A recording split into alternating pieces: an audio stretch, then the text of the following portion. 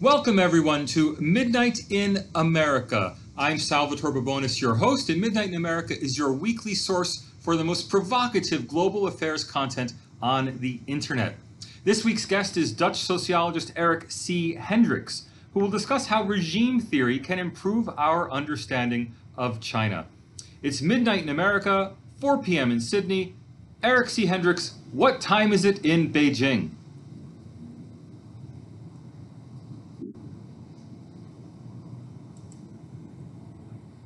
I think we may have lost Eric. Yeah, so it's it's one it's it's oh no no no no it's I, it's one it's one um it's one in the afternoon here in China.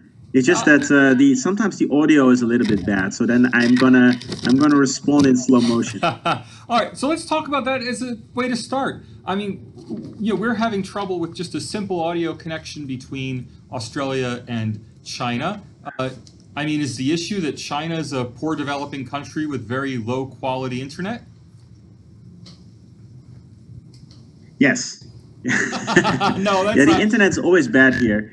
Uh, even if you even if you uh, seek out uh, the best, the, the quickest the quickest places, then still for some reason there's always uh, as soon as you make a connection to the international world, there it always there's always a problem somehow. So- uh, it, I, I mean, smooth the well really well functioning internet is extremely rare in this country.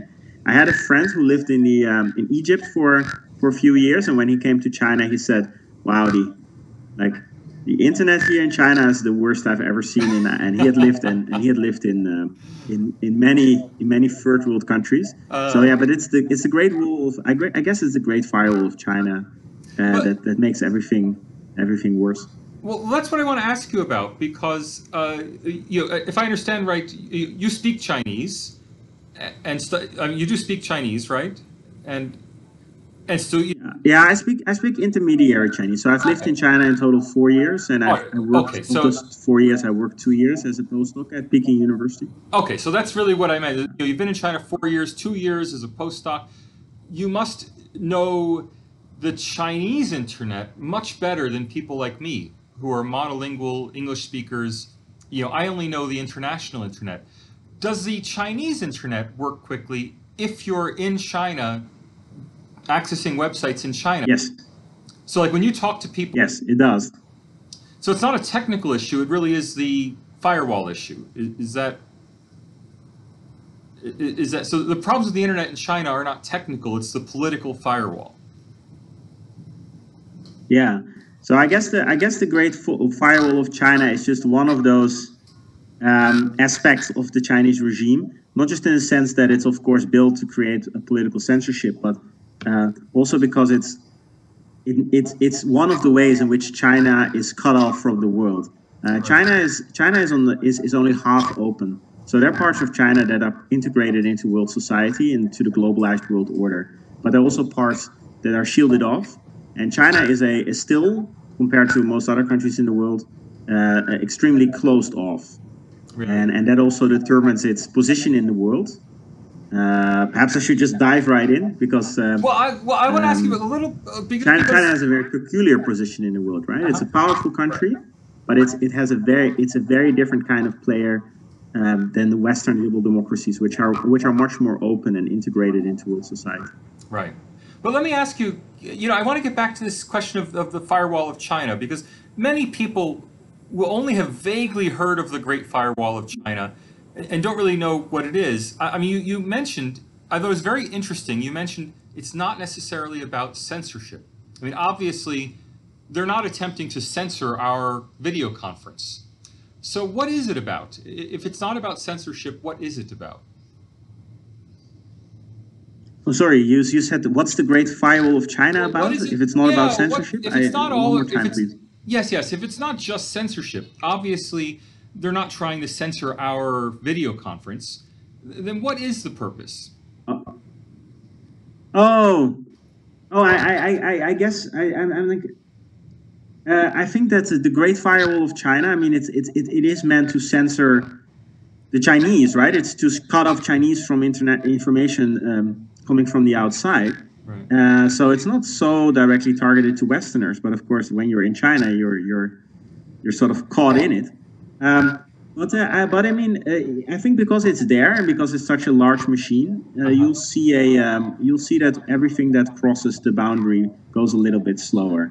Uh, really? Sometimes I have these emails I send uh, from uh, from a Chinese um, email provider to a to to, to Gmail, mm-hmm. and then I see that there's a time lag sometimes, even. So there's it it, and, and but it works very strange. Like you even have to pay more money uh, to use foreign internet to go to foreign websites than if you so if you have an oh, really? uh, if you if you have a phone and you have an um, and you pay for your internet right you actually have to pay more often for using foreign websites and so they they, they, they even differentiate between foreign and and, and, and national internet which oh, is something so I've never seen in any other country. I've never heard of that. So there's no net neutrality in China, that's for sure.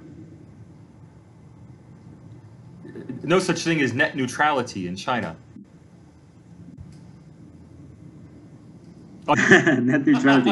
well, I think I think the net has never been neutral. I think the net is owned by the Chinese Communist Party, just like everything else in the end is owned by the Chinese Communist Party.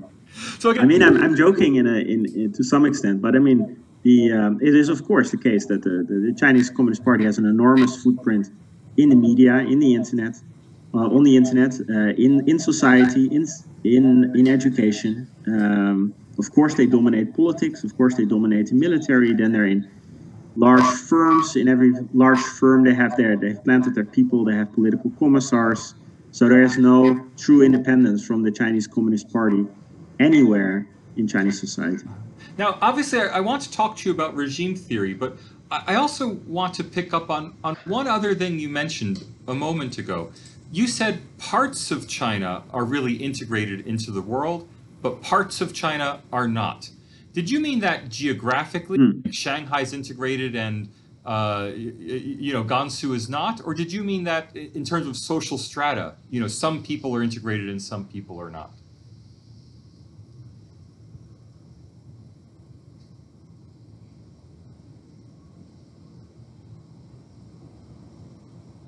Yeah, so no, I, I don't mean it geographically. I mean it in terms of the functional the functional fields. So if you have these uh, functionally differentiated fields, law, uh, politics, uh, journalism, education, science, business, right? The uh, the functional the functionally differentiated fields, um, you'll you'll see that. Um, well, first of all, they're only partly differentiated from politics. So politics is an, is a very intrusive force in these fields. So compared to Western countries, throughout the we sometimes say right we sometimes say that uh, there's there's no division of power in Chinese politics, but actually it's much when we have more of a division of power in politics in Western countries. Mm-hmm. Um, but it's much broader than that. You you have less of a division of power throughout Chinese society. So the political center is much more deeply penetrating into all the f- social fields in society, whether it's business, journalism, academia, science, uh, you name it, right? So, so what that entails is that there's the, these fields are less differentiated, less autonomous from the political center than they are in Western societies. Now, because they're because they're more controlled by the political center, they're also less integrated into world society. Because these functionally differentiated fields, um, yeah, if they if they get an um, in, insofar as they have real autonomy, insofar as they have real professionalism, they connect with uh, other professionals in the international world, right? right. So so the but insofar as the political party, the Communist Party, is is politically controlling them and manipulating them, it holds them, it keeps them outside of uh, world society. So in, with journalism, that would be very literally right. literal in terms of an information cutoff, right? But in, in academia, it, it, would, for instance, it could also be something more indirect, or in a, in the sense that um, you will have you will have scholars promoted on the basis of their scholarly credentials in terms of the international academic system. Whereas you'll also have scholars promoted based on uh, political credentials and political connections in the Communist Party. Now, of course, most most of it is, is more complex and in between, but you, you see what I mean, right? So the real, I, the way I see the Chinese Communist Party is as a kind of, is as an enormous force that is actually outside of the, the Western-led global world order. I mean, there's nothing, the Communist Party is completely shielded off, right? Like in terms of information, in terms of people. So, insofar as the Communist Party is controlling something in Chinese society, it's holding it outside of the world society. Now, I'm not surprised to hear that journalism and political science, you know, are very closely integrated with the political sphere in China, right? I mean, that's a no-brainer. Of course, a, a you know a repressive communist government would be deeply embedded in fields like journalism and political science.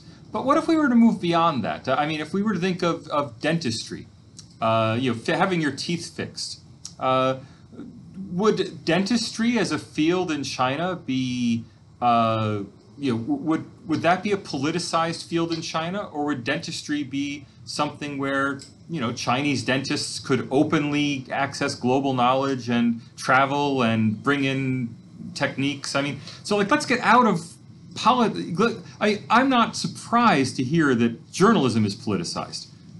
What about things like dentistry, mm. agriculture, or you know yeah sensitive fields like that. it's funny that you it's funny that you mentioned dentistry yeah uh, because because a friend of mine actually uh, he's a prof- Melvin Schutte, a professor at um, or lecturer at uh, Amsterdam University also mentioned that to me just a few days ago because he said that he said that well in the end when when people go to the dentist uh, they want a professional dentist they don't right. want a uh, politically correct dentist. Political dentist. Um, um, but so even though that um, that's that sounds true, it, it's not always the case. For instance, in, during the Cultural Revolution, when they were uh, when the slogan was "Better red than expert," uh, they were actually hunting down and uh, suppressing and out and, and marginalizing all these experts, including dentists, right? So if you were a really good socialist dentist, you're probably gonna be promoted or like get get really? you're gonna, gonna be made the head dentist. And if you don't have the right connections, you're gonna like perhaps be fired, right? So there was a there was at least a very extreme moment during during Maoism when they would actually go after everyone. Uh, but of course now China is more practical, right? So they don't they try to like leave dentistry alone, I suppose. Um, uh, but uh, and and then there are a couple of things which are like heavily heavily suppressed, and then a lot is in between. So like it's very it's very nuanced. So for instance, recently I was talking to a um, to uh, to a legal scholar, and he told me that the uh, so rule of law is a big issue right now in China, and rule of law is very interesting because you know they realized the Communist Party realized that they need some rule of law, they need some autonomous legal field. If they completely politically control it, it doesn't work right? Because in order to manage a complex economy where you have like a, a lot of firms in conflict with each other, um, may, having um, having contracts, uh, being involved in, in, in, complex transactions, you need a functional legal field to some extent because uh, just for managing conflicts in a in a complex economy, right? But at the same time, if you fully have an autonomous legal field, it becomes it you know it becomes a real force of independence. Uh, because the law could also apply could also be applied to the ruling to the ruling people in the end to the ruling class right so what kind of happens is that commercial law has throughout the last decade or so becomes much more transparent much more like a real legal system as we have it in the west so you have judges doing their work you have lawyers doing their work you have prosecutors doing their work you know, the rule the law is you know somewhat systematically applied that's that's commercial law. But then when it, when it comes to criminal law, it's still an absolute jungle right now. It's still that you know bribes, political connections are much more uh, likely to determine the outcome than than than anything else. Um, and then you have the um, and then you have of course any political case. Well, we'll forget it, right? That any political case is political from from top to bottom. Right. Uh, now, so that's uh, it, like in a nutshell, that is actually the, what they call the China model, or the way I see it. So I have a very cynical idea of what the China model is. So Daniel A. Bell, he talks of the China model, and then it's a really good thing, right? But in my mind, that is the China model. The attempt to kind of cherry pick uh, things from liberal democracy, from Western right. liberal democracy. So they're like, okay, well, well, because we'll have the judges and the lawyers and the courtrooms, which, by the way, they didn't have in Maoist China, right? There were no lawyers in Maoist China. So they, you know, they import parts of the system, but then they only implemented implement the parts they like, and they try to make that work. And the question is if it really, if it can really work in the long run. Right. It, uh, you know, I'm really interested by the fact that you brought up the Cultural Revolution in Maoist China and uh, I like that. Well, I, I don't like, but I, I enjoyed the slogan. Uh, you know, better, better red than expert, uh, which reminded me actually of yeah. Uh, Socrates, uh, the Greek philosopher, uh, who, through Plato's uh, dialogues, uh, supposedly said better honest than expert. You, you, know, would you rather have an expert physician or an honest physician? And he said, well, you'd rather have an honest physician uh, who would know the limits, you know, than have an expert physician who might, you know, accidentally kill you. Uh, but uh, but moving forward, I keep hearing uh, people in the press and in the in the uh, political commentary comparing Xi Jinping to Mao Zedong. And to my mind, this is exactly mm. the issue on which they're completely opposite. That is, Mao was anti expert, but my impression is that today's Communist Party is a regime of experts. And that's why they're admired in some places uh, as being. Uh, you know, an, an expert-based governance. Uh, what's the name of the, the Canadian political scientist at Tsinghua University who's always writing about uh, the China model being a better model of governance. Uh, I'm forgetting his name. Uh, but, but, I mean, what's your feeling on this? I mean, is Xi Jinping the anti-Mao? Is today's Chinese Communist Party a party of experts, uh, or am I off base on that?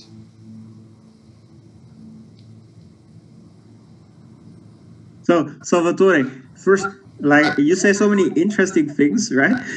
but I hear this like I have like these five to ten second gaps. There's in oh. between, and they just fall out. So I heard you say, I heard you say, well, Xi Jinping and Mao, and then I didn't hear anything. And then I, I heard, isn't he the, isn't he the anti-Mao? And then I didn't hear anything. So so you asked whether he was Xi Jinping, because Xi Jinping is more focused on professionalization than Mao, so he's well, more I, on the side of the experts. Is that more technocratic? Is that well, what you're asking? Well, the the my own understanding of the changes is that. Uh, oh, now, so now, so now there's a bleep again, and I can't hear anything. Wait. Yes, go. internet. Um, my own understanding is that Xi Jinping has promoted a a government of by experts. Uh, that is, it's the anti-Mao. Uh, Mao wanted to get rid of experts, but the current Communist Party fetishizes experts. Uh, or, or, am I wrong? I mean, I'm curious. Uh, you know the situation better than. Oh no! So I heard, I heard my own understanding. Bleep. Or am I wrong? So I didn't hear anything between those things. I'm so sorry, Salvatore. Again, my own understanding is that the current communist regime fetishizes experts which is the exact opposite of Mao. Yes. Anti-expert. Yes. Okay, now I got it. I got it now. Great, great, great. Um, but what? Yeah. So, so yeah, yeah, yeah, So sorry that I that I took so long. It's like yeah. I get this in bits and pieces. So um, so the yeah the, the it, well the way I see it. Uh, fetishizes, I don't wouldn't say they fetishize um, professionals unconditionally right? right? So they, yes, they like to use experts. They they like to modernize China, right? Modernizing China is one of their two main goals. The Communist Party has two goals. Uh, first goal, maintaining political control. Second goal, modernizing China. Now, the the official line on this is that those two things go very well together, but I, I would disagree, right? So, because if you want to modernize society, you have to professionalize society. Okay. But in order to professionalize the key fields in society, law, business, academia, journalism. In order to professionalize these, you have them to give them more space from political control, from political steering. Why does political steering and control diminish professionalism? Well, because of course, you know, as you as you rightly point out, you know, they like to use professionals, they like the experts, right, to some extent. But why does it structurally diminish professionalism, this kind of penetrating political control? Well, because it puts the wrong incentives in the field when when somebody is climbing up the ranks in in whether it's uh, you know social science or business, you know, in the end, the incentive isn't purely put on functioning differentiated accomplishment. So like if you're if you're a businessman in China, you know you can you can you, know, you can perhaps start a small firm, but in the end, if you want to get really big, you need some political connections. So in the end, it's not the reward system doesn't just purely reward business innovation, smart marketing, uh, uh, an understanding an understanding of the consumer. Like it, it, it, it, one of the main incentive, like one of the main criteria for success is is is is ability to effectively network in the political field. So so what you get is that the incentive structure is polluted it's heteronomized, right? So, so that structurally diminishes the professionalization. Uh, because in every field in Chinese society, you, you, wouldn't you wouldn't be purely rewarded based on your actual abilities and competences in the field. You would be at least partly rewarded uh, by your by your ability to to politically network and and, and, and your political resources. So so in that way, the Communist Party con constantly structurally undermines professionalization in all fields and hence modernization. But then but then the little, you know, the little professionalism that does emerge, it tries to use, of course, and it, you know, it may celebrate. Um, so, but then if you look at it that way, the two main objectives of the Chinese Communist Party are in full uh, are, in, are in full contradiction because on the uh, uh you know because they they want to maintain political control at all costs by having an extremely strong footprint for our Chinese society. Mm. And second, they want to modernize China. But but the thing that keeping the modernization down is the is the lack of professionalism, which is mainly caused by the enormous footprint of the Chinese Communist Party. And there's also there's also this also the um, relates to the uh, variable of opening up, right? In order to move further modernize China, they need to open up more. But in you know their financial system, their business, their their academic system, everything, right? Throughout you know their journalism, any everything, every field needs to be more open up to the outside world. Uh, but you know that also diminishes control, so they don't really like opening up. So that's why you have this constant dynamic of you know opening up a little bit further, and then going back a little bit, perhaps opening up, no, going back, and this, this hesitant back and forth.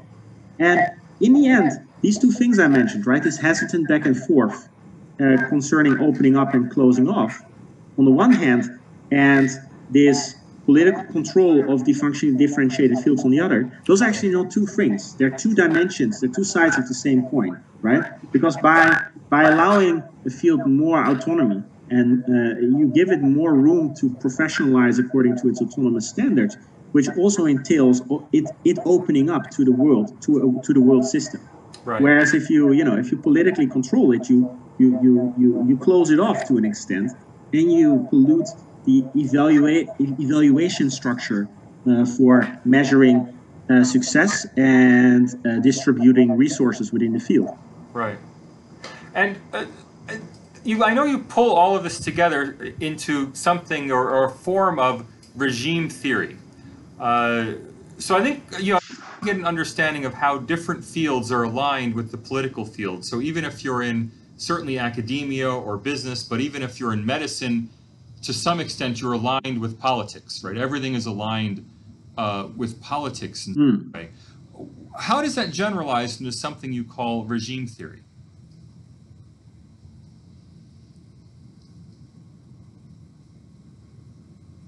Right. What's the connection with regime theory? Oh, sorry, I, did, I didn't hear that yeah. last thing. You how said did, that in some in some way you're always aligned with politics, and then with, and then uh, you didn't. And, and, does, I, and you said I, I pull this all yeah, together. Yeah. How does that pull together into regime theory? How does it connect together to regime theory? To become a single ah, theory. Okay, I got it. oh, so so sorry, Salvatore, no, that, no, that you know I have to keep asking you to repeat yourself. Yeah, yeah, yeah. I feel so bad about it because I, I, I, see you talk, you speaking, and I'm and I get these snippets, you know. Um, so and I, I, sometimes I guess, but I don't want to you know misguess what you're what you're asking me. So so yeah, the, so I tie this into regime theory because I think that the most fundamental regime difference between Chinese society and, and, and liberal Western liberal democracies is the field pluralism. So now I use the regime concept in a kind of society society-wide sense. So in the sense of the, the ancient Greek term politeia, not in the very limited modern sense of just political regime, right? right? I think that the, the I, so you have I'm speaking of it as like a kind of societal regime, and and as a societal regime, China has always been, or at least throughout the last few centuries, been more field unified than Western societies. Now, there has been enormous changes and shifts in the form of Chinese society, right? There's been a, a regime transformations and evolutions, etc. But and it's, it's over the last four centuries, let's say. Same in the Western countries. Still, if you look at the big picture over the last, at least the last four or five centuries, the structure of Chinese, the big structural difference between Western societies and China, and it, and it remains true to this day, is that China is less field differentiated, is more field unitary. whilst the West is more field pluralistic. So, you know, so in you know, of course, like in, in a Maoist totalitarianism, this was very extreme. You had like a party state dominating all other organizations and institutions and fields in society, right? But but even nowadays, China is still much less field differentiated than, than the West. And already under the imperial in imperial times, China was less field differentiated because you had the Mandarin class, which was extremely dominating because it tried to monopolize all forms of authority, power, and prestige, right? The, the Mandarin official, the Confucian scholar official, the Mandarin, was supposed to be they were the politicians, the bureaucrats, the poets, the philosophers, the judges, the richest people, and sometimes also the people calling the shots during wartime, so the military commanders. Uh, they were supposed to be the, the total human being. And that left very little room for other autonomous development in, uh, in civil society, right? In society as a whole. So what you got is like in the West, in the West, you had all kinds of big industrial firms emerging, right? Like in China, you didn't have those. If you were like if you were a business person in China, you could you could have a small family business, but as soon as it got bigger, uh, the the mandarins would take your stuff away, right? The only way you could really become rich, super rich, was by actually becoming a mandarin yourself or connecting yourself to a mandarin clan. Right. So like there was never like there was never an incentive or like it was like real success in business was eventually punished, right? So they kept down business that way, and it was the same with, with you know philosophy and uh, academia and the whole the whole shebang. It, it, and and now that you have a Chinese Communist Party, right? We see a lot of changes, right? China has become a nation state. China has a Chinese Communist Party that's organizationally modeled after the Leninist Soviet Union, um, but it's also still building on that longer cultural heritage. Yeah, I think it's it, it's interesting that you draw the the historical uh, precedents because I see a, a, lot of what you're talking about, I think, would also have applied to Taiwan uh, until the 1980s. Even though the nationalist government was very anti communist, it was still very similar in, mm. the regime sense to what you're yeah. describing in communist China. Uh, you keep comparing China and the West. How would you compare China mm. other middle income countries? I mean, is what you're describing about China something distinctive about China, or is it the same in Russia, in India, in Mexico, in Brazil? Uh, how would it compare? No, yeah. How would China compare to other yeah actually countries? Yeah. Yeah, I mean China is really has a very unique history because um, and and even nowadays, there's nothing there's nothing in the world that even that that's that's that really resembles China, apart from perhaps North Korea or the, uh, to some extent. Uh, because uh, the Chinese Communist Party is, I mean, the Chinese Communist Party nowadays, don't forget, it's the large, it's it's it's probably the most powerful organization on earth, the most most powerful single organization on earth. It has a, it has 90 million members. It controls the second economy in the world. Right. Like the United States is a more powerful country, right? But the, the United States is much more pluralistic. Right. So the, the, the, Chinese Communist Party is, is it's like a very unique institution, right? And if you look at the longer tra- regime trajectory of, of China, it's very unique. It's completely it's because for the mostly the the rest of the world, you see the following. You see you see kind of two kinds of countries. You have developed Western countries, which have a lot of institutionalization, which have a lot of developed institutions and organizations throughout society in a pluralistic shape.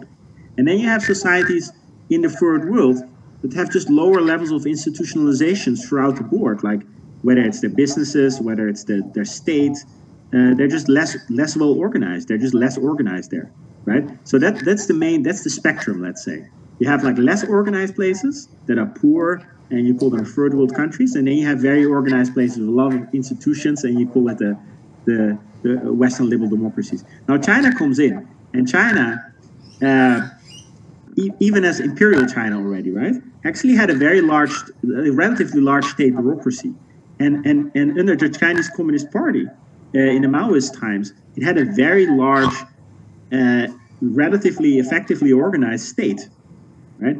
not a state that provided services to the people a lot necessarily, right. but a state that actually you know controlled a lot of things. So so you have a very disbalanced kind of institutionalization, and that's I mean that's unique to China and the China-controlled world. What you what you call the Tianxia, right? Mm-hmm. It was throughout it. It was to some extent the characteristic of the Tianxia. So not not China in a narrow sense, but also the China-controlled world.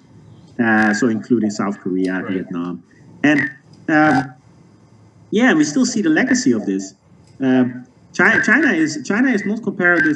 Contemporary China is not comparable to any other country in the world because it, you know, if you say if you if you give me like if you give me other less developed dictatorships, then I could say, well, these these countries are, are less developed overall than Western Western liberal democracies. But China is a society where you have this one gigantic monster, there's one giant uh, standing in the middle of the field, and then you have you know some development on the side which has like trouble trouble developing because you have this big giant. And sometimes I compare it to a to a forest with one gigantic, super gigantic tree that kind of like kind of avatar-like tree that kind of casts a shadow, shadow over the whole forest.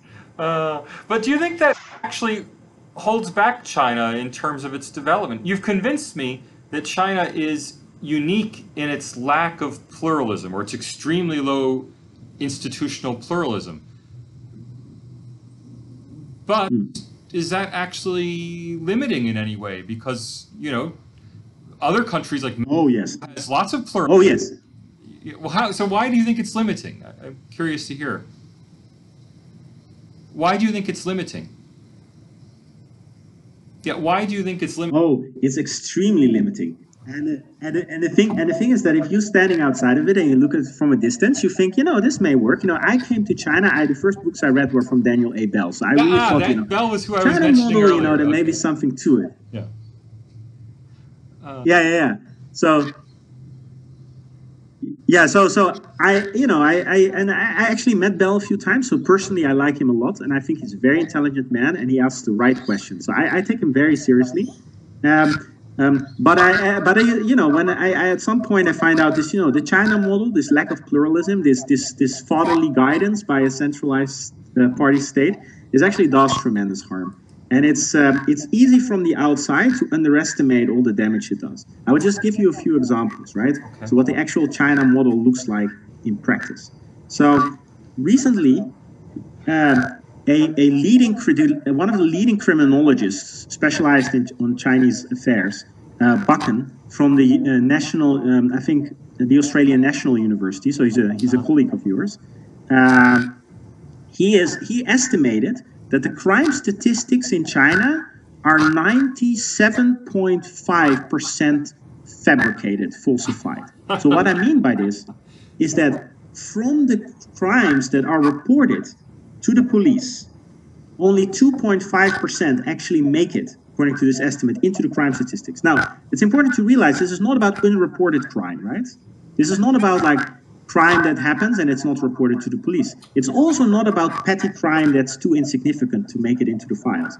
This this is this is you have a bunch of crimes cases coming into the police, a lot of it being heavy crime, and the police officers and the political commissars and party functionaries on different levels for opportunistic reasons taking out stuff from the statistic using all kind of tricks so like it comes in it's like oh we have like 100 crime cases and then well it's actually 50 you know and it's passed on and the next time it's oh 50 crime cases i will tell my superior it's 20 and then it's 20 oh it's a, no it's actually 10 and and then you know it reaches all the way at the top, and then there is some boss, and he says, "Well, my predecessor had five, and I'm better than my predecessor, so it's four.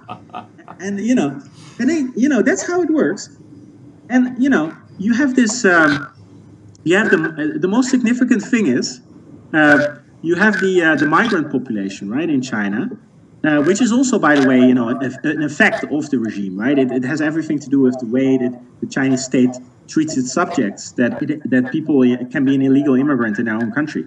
So you have these illegal migrant workers in in China. Um, uh, I'm not exactly sure what the exact number is, but it ranks into the hundreds of millions. Yeah. And the um, uh, they are apparently responsible, at least in the case of Guangzhou, uh, which I'm familiar with, for 80% of the crimes. So it's 80% of the crimes are committed by or to migrant workers, right? But these migrant workers, because they actually supposedly registered some somewhere differently. The police departments in the big cities will not take them into into into consideration. Probably won't even help them, but also won't register the crimes that are committed against them because that should be like that's for a different danwei, right? Yeah. So a different a different uh, department somewhere else in the country supposedly. But so by, by using these kind of tricks, they make everything disappear. So in the end, there's like a complete lack of law and it's a complete jungle. Now, does that hinder modernization? Oh yes, oh yes. So this lack of oversight because you have one institution. So if you had like a pluralistic system where you have like different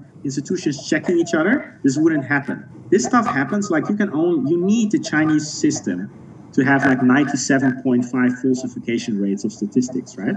So, so and this this does do damage. It's not just playing with statistics. Like this lack of rule of law underneath like a facade of orderliness, right. this actually does enormous damage. Like to give you give you an, uh, an example uh, which I'm personally familiar with. Um, there was a lady I used to know. She got a uh, she has a, a, cafe at Peking University, which was very popular, the best cafe on the campus, right? So, but the furniture was very old, so she was thinking of re- renewing the furniture, but then she said, "No, no, I'm not going to do it," because uh, she wasn't sure that she could still have the building in a few months from now. Oh. Okay. So she may be kicked out within just a few months' notice, right. right? Within you know, within a few months. Why? Because like a lot of these small business owners they they have like buildings which uh, like in order to do everything by the books in china it's kind of impossible. So you have to work via some kind of local party of, official. And then they cut you a deal. They're like oh i will help you out.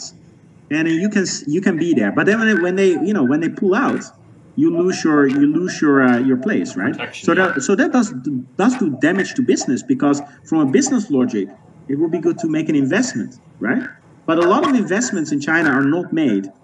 Every you know everywhere businesses are not investing where they should invest right.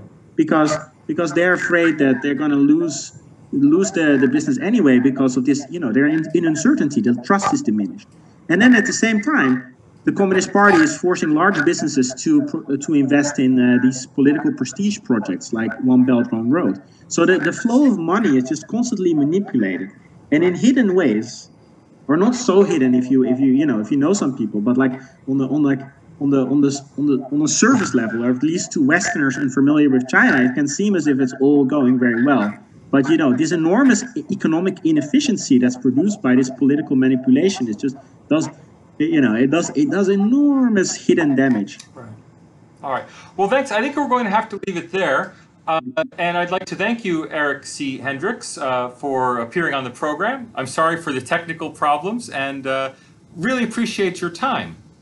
So thank you very much. Uh, I'd also thank you, Salvatore. Yeah. and I'd also like just to mention uh, next week we'll have on the program uh, Glenn Diesen, who will talk about Russia's geoeconomic strategy for a greater Eurasia. Uh, Eric, it's really been a pleasure talking. Uh, thanks so much for being on the program and for being patient with the technical problems. And I'm sure a lot of people will be looking forward to this, uh, watching this video once it's posted. Thanks a lot.